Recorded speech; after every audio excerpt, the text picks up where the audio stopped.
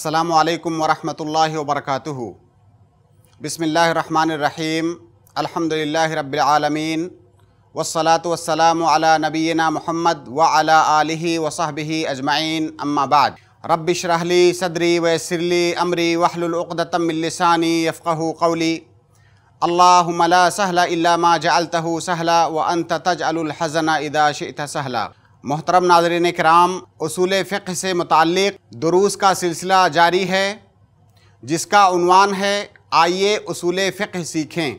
हमारी गुफ्तगु अहकाम शर्इया से मुतल्लिक़ शुरू हुई थी, जो कि उसूल फ़िक़्ह का एक इंतहाई अहम मबहस और मौजू है। अहकाम शर्इया को हमने दो किस्मों में तकसीम किया था, अल-अहकाम अतकलीफ़िया और अल-अहकाम अलवदैया और अपनी गुफ्तु की इब्तदा हमने अहकाम तकलीफ़िया से की थी, और अहकाम तकलीफ़िया को हमने पाँच किस्मों में तकसीम किया था। पहली किस्म है वाजिब, दूसरी किस्म है मंदूब, तीसरी किस्म है मुहर्रम, और चौथी किस्म है मकरूह, और पांचवी किस्म है मुबाह। और हमने अपनी गुफ्तु का आगाज़ किया था पहली किस्म से, जो कि वाजिब है। हमने वाजिब की तारीफ़ की, उसके बाद वाजिब के अकसाम में हम दाखिल हुए। वाजिब को हमने चार एतबार से तकसीम किया। पहला एतबार अकसामुल वाजिब बे एतबार ज़ाती ही, उसके ज़ात के एतबार से उसकी हमने दो किस्में की उसकी शरह की। और दूसरा एतबार अकसामुल वाजिब बे एतबार वक्त ही, वक्त के एतबार से वाजिब की दो किस्में हमने की, वाजिब मुक्क़त और वाजिब गैर मुक्क़त फिर हमने वाजिब मुक्क़त को दो हिस्सों में तकसीम किया, वाजिब मुदैक और वाजिब मुस्सा और हमारी गुफ्तगु इसी वाजिब मुदैक और वाजिब मुस्सा के बारे में चल रही थी इससे पहले के दर्स में। वाजिब मुस्सा से मुतालिक एक इंतहाई अहम मसला है, वो ये है कि वाजिब मुस्सा के बारे में जैसा कि हमने अर्ज़ किया कि ये वो वाजिब है जिसका वक्त मुस्सा होता है। मिसाल के तौर पर कोई इबादत है, उसका वक्त दो बजे से लेकर के चार बजे तक है। तो अगर उसका वक्त दो बजे से चार बजे तक मुस्सा है तो इस दौरान आप कभी भी उस इबादत को कर सकते हैं। आपके ऊपर यह वाजिब नहीं है कि आप अव्वले वक्त ही में करें। गरचे अव्वले वक्त में करना अफजल है, लेकिन आप उसको थोड़ा मोखर करके आखिरी वक्त में भी ले जा सकते हैं। यहाँ एक बड़ा सवाल या बड़ा मसला यह है कि जो वाजिब मुस्सा होता है, उसका वजूब साबित कब होता है? जैसे दो बजे से चार बजे तक के दौरान अब उसको करना है। अब क्या वो दो बजते ही वो इबादत वाजिब हो जाएगी? या वो इबादत बाद में वाजिब होगी? कब वाजिब होगी? उसका वजूब का इस्तकरार कब होता है? इस बारे में जमहूर अहले इल्म की राय तो ये है कि वाजिब मुस्सा में जितने भी अवकात हैं जो वक्त भी है, उसके जितने अज्जा हैं, हर जुज के अंदर ये सलाहियत है कि वो वजूब का सबब बन सके। यानी उस वक्त के तमाम अज्जा में वजूब का सबब बनने की सलाहियत है। लेकिन वहीं पर एक दूसरी राय बाज अहल इल्म की या बाज उसूलीन की ये है कि वाजिब मुस्सा जो होता है, वो वाजिब उस वक्त होता है जब वक्त में से सिर्फ़ इतना बचे कि अब उस इबादत को उतने वक्त में किया जा सकता है। मान लीजिए, हमें जोहर की नमाज़ चार रकात पढ़नी है और हमें चार रकात में पाँच मिनट, छह मिनट लग रहा है। तो अब गोया की जोहर का वक्त खत्म होने से छह मिनट, पाँच मिनट पहले वो इबादत वाजिब होगी। क्योंकि उनका कहना यह है कि अगर ये पहले हम इसको वाजिब मान लेंगे तो चूँकि वो पहले नहीं कर रहा है इसको और वाजिब को नहीं करने वाला गुनहगार होता है। लिहाजा हम कहेंगे कि वाजिब मुस्सा ये आखिरी वक्त में वाजिब होता है। लेकिन जमहूर अहले इल्म की राय इसके बरखिलाफ है। वो कहते हैं कि वक्त के हर जुज में वजूब का सबब बनने की सलाहियत है। इसको हम एक मिसाल से समझते हैं। इसका समरतुल खिलाफ जो है, जमहूर के नज़दीक और दूसरे कौल के मुताबिक जो इख्तलाफ है, उस इख्तलाफ का समरा कहाँ पे ज़ाहिर होता है? जैसे मिसाल के तौर पर आ, एक औरत है जोहर का वक्त हो गया और उस औरत ने सोचा कि मैं इस नमाज़ को थोड़ा सा ताखिर करके पढ़ूँगी एक घंटे के बाद पढ़ूँगी। अब उसी एक घंटे में उसको माहवारी आ गई। अब ज़ाहिर है जो माहवारी वाली औरत है वो नमाज़ नहीं पढ़ेगी। और उसने ये सोच करके मौखर किया था कि मैं बाद में पढ़ लूँगी। तो क्या जब माहवारी खत्म हो जाएगी चंद अयाम के बाद तो क्या ये नमाज़ जो उसने छोड़ रखी थी, क्या इस नमाज़ का पढ़ना उसके ऊपर वाजिब होगा कि नहीं? अगर हम जमहूर अहले इल्म की बात लें, जो कि कहते हैं कि वक्त के किसी भी जुज में वजूब की सलाहियत है, या वक्त का हर जुज वजूब का सबब बनने की सलाहियत रखता है तो इनके कौल के मुताबिक उस औरत के ऊपर नमाज़ वाजिब हो चुकी थी, क्योंकि नमाज़ का थोड़ा सा वक्त गुजर चुका था। तो उस पर नमाज़ वाजिब हो चुकी थी, वाजिब, साबित और मुस्तकर हो चुका था। अब जब वो बाद में पाक साफ़ होगी तो वो अपनी उस नमाज़ को कजा करेगी। लेकिन अगर हम दूसरी राय को लें जिसमें यह कहा गया है कि आखिरी वक्त में वो चीज़ वाजिब होती है तो इसका मतलब यह होगा कि जो उसने नमाज़ नहीं पढ़ी थी और मोखर किया था, बाद में उसको कज़ा नहीं करना होगा।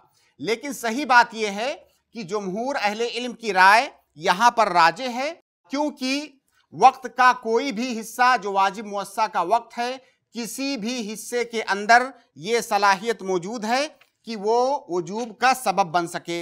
इसी तरह से वाजिब मुस्सा से मुतालिक एक मसला और है। जब हमने ये अर्ज़ किया कि वाजिब मुस्सा को फ़ौरन करना ये ज़रूरी नहीं होता है, हम ताखिर कर सकते हैं, उस वक्त तक ले जा सकते हैं, जब तक उसका वक्त ख़त्म ना हो या इतना वक्त बचे जिसमें हम उसको कर सकें। तो मान लीजिए, कोई इंसान है, मान लीजिए जोहर की नमाज़ का वक्त हुआ, और उसने थोड़ी सी ताखिर की कि मैं अभी थोड़ी देर बाद नमाज़ पढ़ लूँगा। अब इसी थोड़ी देर में उसको किसी काम के लिए सफ़र करना पड़ गया। वो सफ़र पे निकल गया। और हम सब जानते हैं कि जो मुसाफिर होता है वो जो चार रकात वाली नमाजें हैं, उनको कसर करेगा, यानी दो रकात करके पढ़ेगा। तो ये मुसाफिर जिस पर की जोहर की नमाज़, इकामत और हदर की हालत में वाजिब हुई थी, अब वो जब सफ़र कर गया तो क्या वो सफ़र में जाकर के दो रकात पढ़ेगा या कि चार रकात पढ़ेगा? क्योंकि जब उसका नमाज़ का वक्त हुआ था तो उस पर चार रकात वाजिब थी। लेकिन जब वो सफ़र में चला गया और जब पढ़ रहा है, उस वक्त उसके लिए कसर मसनून है। तो वो क्या करेगा? तो यहाँ पे सही बात यह है कि इबादत में एतबार वक्त अदा का होगा। यानी इबादत को हम किस कैफियत पर अदा करेंगे, किस कैफियत से वो इबादत करेंगे, इसमें अदा के वक्त का एतबार होगा, ना कि वजूब के वक्त का। अगर वजूब के वक्त का हम एतबार करते तो हम कहते कि वो इंसान जोहर की नमाज़ को सफ़र में चार रकात पढ़ेगा, क्योंकि उस पर वाजिब हो चुकी थी जोहर की नमाज़। लेकिन हम ये कह रहे हैं कि जो है इबादत में अल एतबार बेवक्तिल अदा है। जिस वक्त इबादत को किया जा रहा है, उस वक्त का एतबार होगा। और चूँकि वो इबादत को सफ़र में कर रहा है, लिहाजा सफ़र का एतबार होगा और वो कसर कर सकता है। जबकि कुछ अहले इल्म का कहना यह है कि अल एतबार बेवक्तिल वजूब होगा। लेकिन ऐसा कहना सही नहीं है, क्योंकि मान लीजिए इसी मसले को आप उलट दीजिए। कोई इंसान मुसाफिर था, उसने जोहर की नमाज़ को नहीं पढ़ा, थोड़ा ताखिर किया कि मैं थोड़ी ताखिर से पढ़ूँगा। अब इसी दौरान वो मुकीम हो गया, घर पहुँच गया। अब वो क्या करेगा? जब उस पर नमाज़ वाजिब हुई थी, तब तो उसके ऊपर दो रकात वाजिब थी। अब वो जो है घर पहुँच गया, हालत एकामत में आ गया। तो क्या अब भी वो दो रकात पढ़ेगा? अगर हम ये कहें कि एतबार बेवक्तिल वजूब होगा तो इसका मतलब अब भी वो दो रकात पढ़ेगा। लेकिन यहाँ पर जो दूसरी राय के लोग हैं, वो भी यही कहते हैं कि यहाँ पर वो चार रकात पढ़ेगा। यहाँ पर वो एतबार बेवक्तिल अदा मानते हैं। लिहाजा ये कायदा होगा इबादात के बाब में कि अल एतबार बेवक्तिल अदा ला बेवक्तिल वजूब। अगर वक्त वजूब का एतबार होता तो हम मान लीजिए मिसाल के तौर पर किसी इंसान पर कोई नमाज़ वाजिब हुई, उसने चूँकि वो उसका वक्त मुस्सा है, इसलिए थोड़ी सी ताखिर किया उसने पढ़ने में। अब थोड़ी सी ताखिर किया और नमाज़ पढ़ने से पहले उसको कोई ऐसी बीमारी लाहिक हो गई कि अब वो खड़े होकर के नमाज़ नहीं पढ़ सकता है। अब उसको बैठ के पढ़ना है या लेट के पढ़ना है, अब वो खड़ा नहीं हो सकता। अगर हम ये कहें कि एतबार बेवक्तिल वजूब होगा तो ऐसा शख्स गुनहगार होगा क्योंकि उसके ऊपर खड़े होकर के नमाज़ पढ़ना यह वाजिब हुआ था। जबकि हम ये नहीं कह रहे हैं कि वो खड़े होकर के नमाज़ पढ़ेगा, बल्कि वो नमाज़ को जब बीमार हो गया, उसके पास उज्र है तो वो बैठ करके, लेट करके जिस तरह से भी चाहे पढ़ सकता है। क्योंकि जिस वक्त वो नमाज़ पढ़ रहा है, जो कि वक्त अदा है, उसका एतबार होगा, ना कि वक्त वजूब का। अगर हम वक्त वजूब का एतबार कहेंगे तो ऐसा शख्स गुनहगार होगा जो नमाज़ को मौखर करे और बाद में किसी उज्र की बुनियाद पर उसको नमाज़ वो खड़े होकर के ना पढ़ सके बल्कि उसको बैठ के या लेट के पढ़ना पड़े। तो ये एक बहुत अहम मसला है वाजिब मुस्सा के बाब में आ, जिसका मैंने ज़िक्र किया और इनशाला इससे वाजिब मुस्सा की जो सूरत है वो और ज़्यादा खुल करके सामने आएगी। जो वाजिब मुक्क़त होता है वाजिब मुस्सा और मुजैय के वाजिब वाजिब मुक्क़त की ही एक किस्म है। और वाजिब मुक्क़त के मुकाबिल में वाजिब गैर मुक्क़त है। वाजिब गैर मुक्क़त के बारे में हमने अर्ज़ किया था कि वो वाजिब जिसके वक्त की तहदीद ना की गई हो। जैसे मिसाल के तौर पर कसम का कफारा है, आपको अदा तो करना है, लेकिन ये नहीं कहा गया है कि आपको कब करना है। आप दो दिन, चार दिन, छह दिन ताखिर करके जब चाहें उसको अदा कर सकते हैं। उसमें वक्त की कोई तहदीद नहीं होती इसको वाजिब गैर मुक्कत कहते हैं। अब अगर कोई इबादत गैर मुक्कत है तो हमारे लिए ये जायज़ नहीं है कि हम अपनी तरफ़ से किसी वक्त की तहदीद करें। आप कभी भी कर सकते हैं, बगैर तहदीद के। लेकिन अगर हम शरीयत समझ के किसी वक्त को खास कर रहे हैं उस इबादत के लिए तो ये बिदात है। ये बिदात कहलाती है। क्योंकि किसी भी अमल के सुन्नत से मुआफिक होने के लिए ज़रूरी है कि वो अमल जो है सुन्नत के मुआफिक हो कई चीज़ों में। जिन्स में मुआफिक हो, सबब में मुआफिक हो, वक्त में मुआफिक हो, मकान में मुआफिक हो और कैफियत में मुआफिक हो। इन पाँच चीज़ों में सुन्नत की मुआफ़त ज़रूरी है। अगर सुन्नत के अंदर किसी इबादत के लिए किसी वक्त की, किसी कैफियत की, किसी ज़मान की या मकान की कैद नहीं लगाई गई है और हम अपनी तरफ़ से उसकी कैद लगा रहे हैं तो ये सुन्नत की मुखालफत है जो कि बिदात कहलाती है।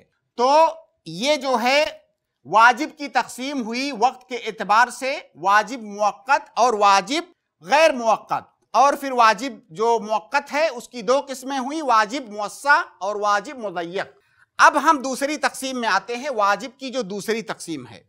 वाजिब की दूसरी तकसीम, जैसा कि मैंने अर्ज़ किया अकसामुल वाजिब बेतबार फ़ाइल ही वाजिब की किस्म वाजिब को करने वाले के एतबार से। वाजिब को जो इंसान कर रहा है, उस इंसान की तरफ़ देखते हुए वाजिब की दो किस्में हैं।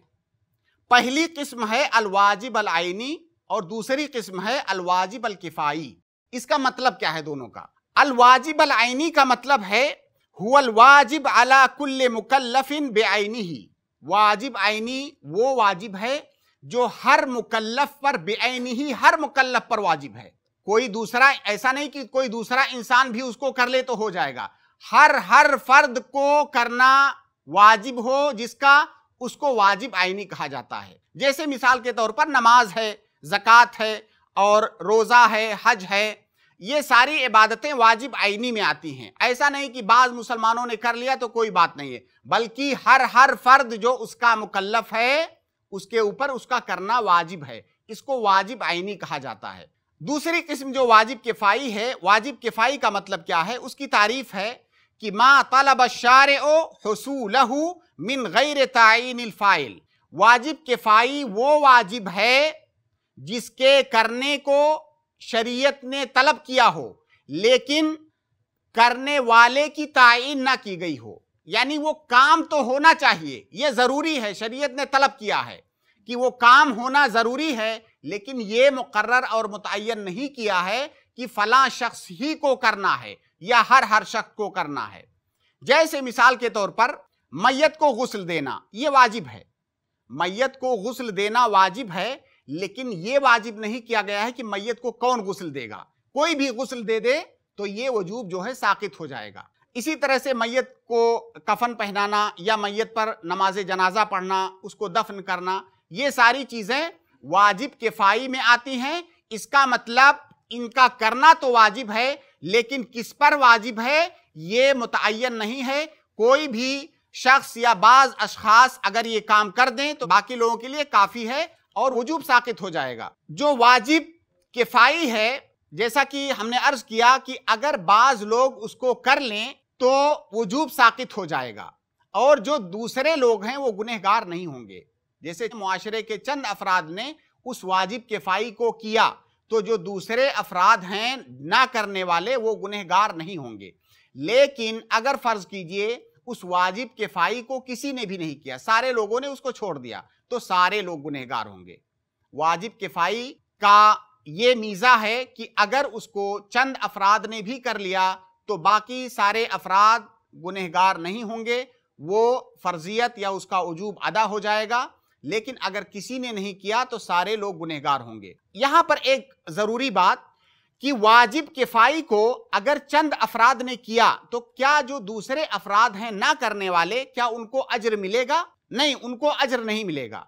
वाजिब किफ़ाई जिस शख्स ने किया है या जितने लोगों ने अदा किया है, सिर्फ़ उन्हीं को उसका अजर मिलेगा। जो दूसरे लोग हैं, उनको उसका अजर नहीं मिलेगा। गरचे किसी के ना करने की सूरत में सारे लोग गुनहगार होते हैं, लेकिन करने की सूरत में सिर्फ़ करने वालों को अजर मिलेगा। वाजिब आईनी और वाजिब किफाई के अंदर कई सारे फरूक हैं। पहला फ़र्क तो जैसा कि हमने अर्ज़ किया कि वाजिब आईनी हर हर मुकल्लफ से, हर हर फर्द से जो कि मुकल्लफ है, उससे मतलूब है। अब वाजिब आईनी में हम ये नहीं कह सकते कि कोई इंसान किसी की तरफ़ से नियाबत कर सकता है। वाजिब आईनी में कोई इंसान किसी दूसरे इंसान की तरफ़ से नियाबत नहीं कर सकता है, इल्ला ये कि कोई ऐसी इबादत हो जिसमें नियाबत करना जायज़ है। जैसे कि हज उम्र है। हज उम्र में नियाबत जो है जायज़ है। लेकिन ऐसी सूरत में वो शख्स जिसके ऊपर असलन वो वाजिब है, उसकी इजाज़त शर्त होती है। अगर वाजिब आईनी में, वो वाजिब आईनी जिसमें नियाबत जायज़ है, अगर कोई दूसरा शख्स उसको कर रहा है, वाजिब होने वाले शख्स की तरफ़ से तो जिस पर वाजिब है, उसकी इजाज़त ज़रूरी है। और ये नियाबत उन्हीं इबादतों में जायज़ है जिन इबादतों में नियाबत करना साबित है। जैसे हज उम्र की मैंने मिसाल दी या इसी तरह से माली इबादतें जो हैं जैसे कि जक़ात निकालना। तो इसमें कोई दूसरा इंसान दूसरे इंसान की तरफ़ की नियाबत कर सकता है लेकिन जिस शख्स पर असलन वो वाजिब हुआ है उसकी इजाज़त ज़रूरी है। जबकि वाजिब किफाई का जो मामला है वाजिब किफाई को बाज अफराद कर लें तो दूसरे लोगों की तरफ़ से वो जो है आ, साकित हो जाएगी वो चीज़ दूसरे लोग गुनहगार नहीं होंगे। और इसके अंदर इजाज़त भी शर्त नहीं है। जैसे कि जनाजे की नमाज़ है, बाज अफराद पढ़ ले रहे हैं तो दूसरे लोगों की तरफ़ से काफ़ी है। अब जो लोग कर रहे हैं, उनके लिए ज़रूरी नहीं है कि दूसरे लोगों से जाकर के इजाज़त लें, जबकि वाजिब आईनी में हमने कहा कि जहाँ पे नियाबत जायज़ है, वहाँ पर भी इजाज़त लेना ज़रूरी और शर्त है। इसी तरह से एक और फ़र्क वाजिब आईनी और वाजिब किफ़ाई के दरमियान ये है कि वाजिब आईनी की जो मसलहत होती है, वो जो है उसके करने वाले की तरफ़ लौटती है। वाजिब आईनी की मसलहत का ताल्लुक उसके करने वाले से है। जबकि वाजिब किफाई की जो मसलहत होती है, वो आम होती है, वो सारे लोगों से होती है। आप जितने भी इबादात देखेंगे, वाजिब आईनी या वाजिब किफाई, आप उस पर गौर करेंगे तो जो वाजिब आईनी होता है, उसकी मसलहत करने वाले से मुतालिक होती है। जबकि जो वाजिब किफाई होती है, वो मसलहा आमा से उसका ताल्लुक होता है। इसी तरह से एक फ़र्क वाजिब आईनी और किफाई में यह है कि वाजिब आईनी के अंदर फेल और फ़ाइल दोनों मतलूब होता है शरीयत को। यानी शरीयत को यह भी मतलूब होता है कि यह काम होना चाहिए और यह भी मतलूब होता है कि यह काम कौन करे। फेल और फ़ाइल वाजिब आईनी के अंदर दोनों मतलूब और मकसूद होता है, जबकि वाजिब किफाई के अंदर फकत फेल मतलूब होता है, फ़ाइल नहीं मतलूब होता है। यानी वो काम तो होना चाहिए कौन करे ये ज़रूरी नहीं है। तो ये वाजिब किफ़ाई और वाजिब आइनी के दरमियान बाज फ़रूक हैं। तो वाजिब की तकसीम तीसरे एतबार से वाजिब को करने वाले के एतबार से है वाजिब आइनी और वाजिब किफ़ाई। अब चौथे एतबार से आ, वाजिब की तकसीम देखते हैं। चौथे एतबार से वाजिब की तकसीम अकसामुल वाजिब इला मुहद्दद व गैर मुहद्दद। वाजिब की दो किस्में हैं, तहदीद और आदम तहदीद के एतबार से।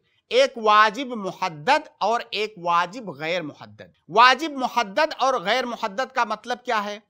वाजिब मुहद्दद का मतलब यह है, हुआ मा वरदा तहदीद मिनशारे ऐसा वाजिब जिसकी तहदीद शारे की तरफ़ से वारिद हुई हो, शरीयत ने उसको मुहद्दद कर दिया हो। मिसाल के तौर पर जैसे ज़क़़त की मकदार है।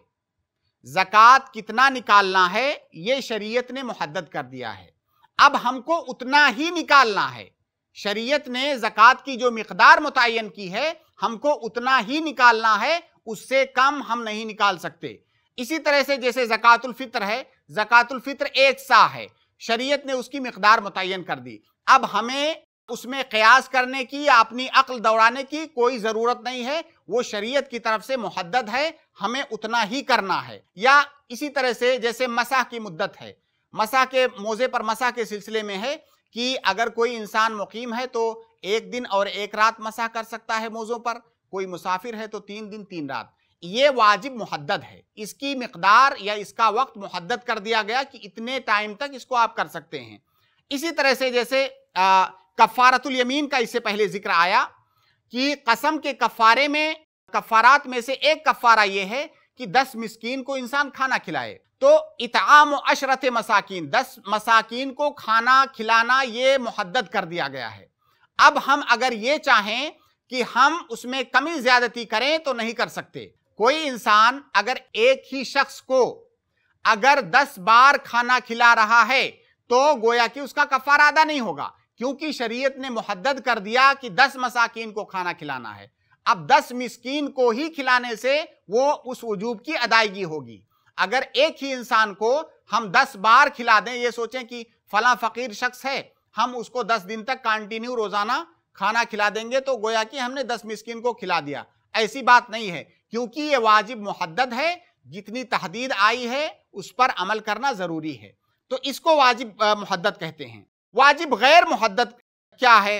वाजिब गैर मुहदद मा तलब शार फ़िलहू वलम यरिद अनहु तहदीद शारे ने जिस काम को तलब किया हो, लेकिन उसकी तहदीद ना की हो। ये कहा तो हो कि फला काम करना है, लेकिन कितना करना है, इसकी कोई तहदीद शरीयत के अंदर ना आई हो।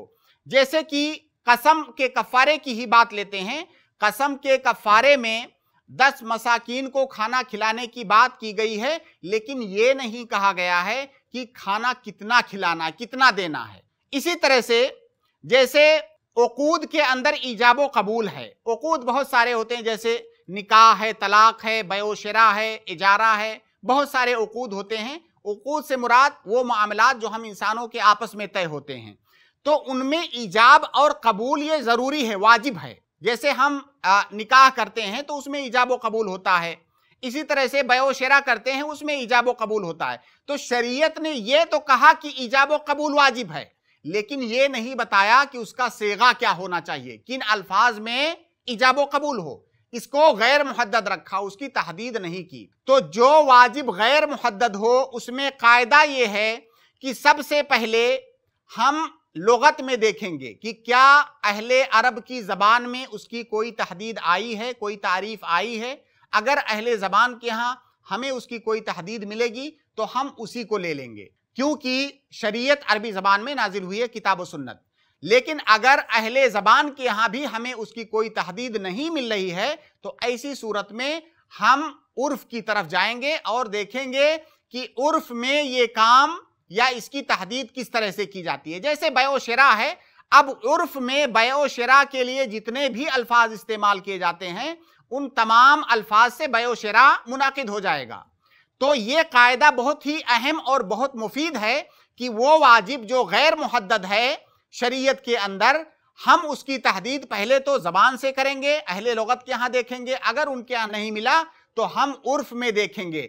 इस कायदे की रोशनी में हमारे जितने भी मामलात हैं, चाहे निकाह हो, तलाक हो, बयो शरा हो, या हमारे जितने भी आपसी मामलात हैं, उन मामलात के लिए किसी अल्फाज की कोई कैद नहीं है सही कौल के मुताबिक। हर वो लफ्ज या हर वो सेगा जो हमारे उर्फ़ में राइज है और जिससे हम वो मामला करते हैं और समझते हैं, उससे वो मामला मुनाकिद हो जाएगा।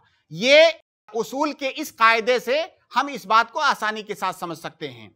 तो ये वाजिब की अकसाम हुई, जिनको हमने चार एतबार से तकसीम किया और हर एतबार से कई कई किस्में हैं और हर किस्म की हमने मुख्तसर तौर से शरह की। आज का दर्स हम यहीं पर रोकते हैं और इन दुरूस का ये सिलसिला जारी रहेगा। अल्लाह रब्बुल आलमीन से दुआ है कि अल्लाह रब्बुल आलमीन हमें इन दुरूस से ज़्यादा से ज़्यादा इस्तेफादे की तोफ़ी अदा फ़रमाए व आखिर दावाना अनिलहमदिल्ला रबालमीन वालकम वरहमल वर्का दुनिया में अमन को आम करने की इस कोशिश में हमारा साथ दें। आई प्लस टीवी को डोनेट करने के लिए अभी कॉल करें nine five double eight double eight double eight two six पर। ऐसे ही और वीडियोस बनाने में हमारी मदद करें।